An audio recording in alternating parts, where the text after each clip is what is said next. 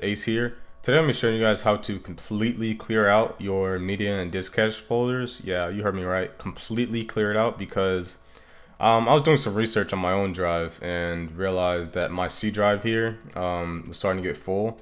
Um, recently I had only like 40 gigs free and I learned something kind of inter interesting. So I'll show you guys what I mean. And um, I think we're going to start this off by going to Adobe's own help page because I was reading about how um, After Effects imports media and you can read this here about how whenever you import footage into After Effects, that footage is saved in another folder. So what's happening is, is you have two copies of every single piece of footage that you've ever used in any project. So um, yeah, I'm gonna show you guys where that's at and where you can find it and get rid of it. And you're not gonna lose your project files, I promise you. My friends have done it. I have not done it yet because I'm gonna show you how much space I'm going to free up. So at first I was like, okay, no big deal. I'll just go and go into After Effects preferences. I'll show you how to get there for those of you guys that are new. Um, you go to edit, preferences, and then media and disk cache. Um, so you can click this button right here and empty your disk cache.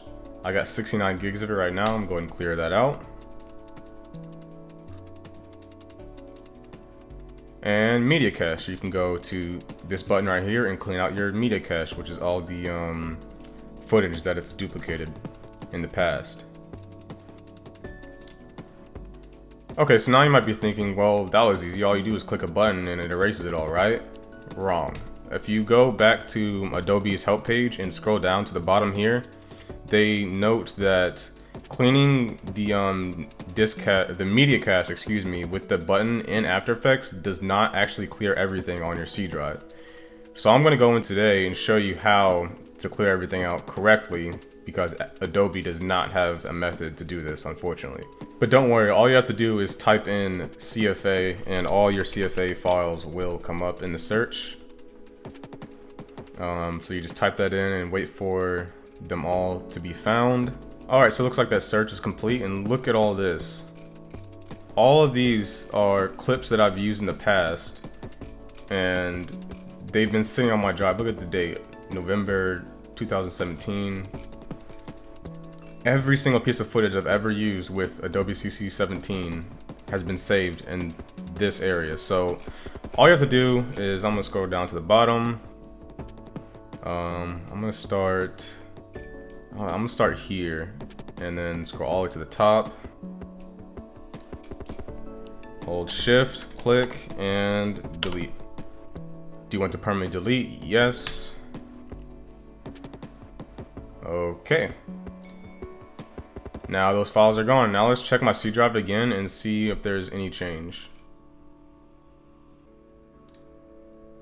Alright, we just freed up 100 gigs on my drive that easily. Okay, so the next file type is called PEK. So we do the same thing, PEK, and wait for those to be found. Okay, so now all those files are found. I'm gonna do the same thing. I'm gonna go to the top, select that one, scroll all the way down. Yep, and get rid of all these. Shift click, delete.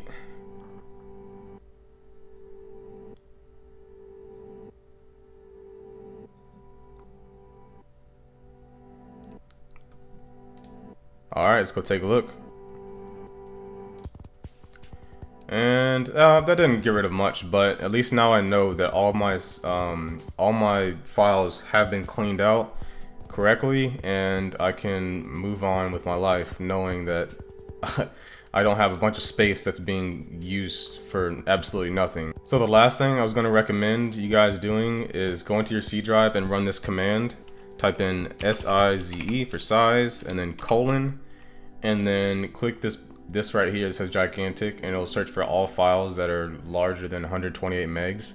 And you can look at your drive and see everything that's big and stuff that you're not using anymore that you can delete. So um, I'm not gonna do this on screen that'll take me forever to go through it all but you guys can do that and hopefully you don't have to waste your money buying new drives over and over thinking that you're running out of space when it's just files that are, you aren't using anymore. Um, so the last thing I was going to show you was this um, command that a user found.